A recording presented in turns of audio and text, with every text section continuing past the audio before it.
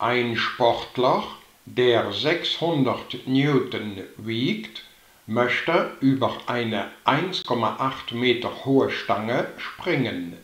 Welchen minimalen Impuls muss er im Anlauf aufbringen? Hier die Angaben. Die Gewichtskraft Groß G beträgt 600 Newton. Die Höhe h beträgt 1,8 Meter.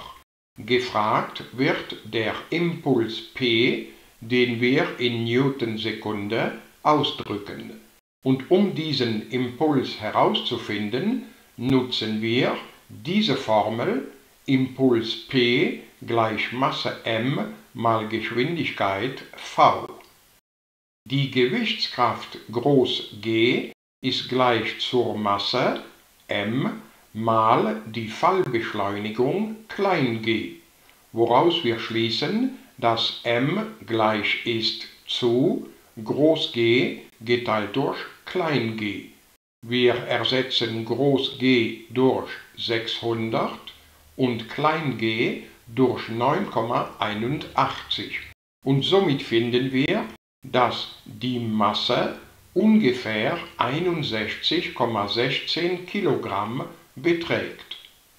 Durch das Erhaltungsprinzip der mechanischen Energie wissen wir, dass die kinetische Energie vom Sportler unten gleich ist zu seiner potenziellen Lageenergie oben.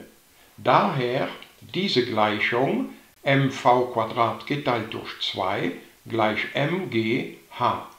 Wir können diese Gleichung durch m teilen und so schließen wir daraus, dass v gleich ist zur Quadratwurzel von 2 mal klein g mal h.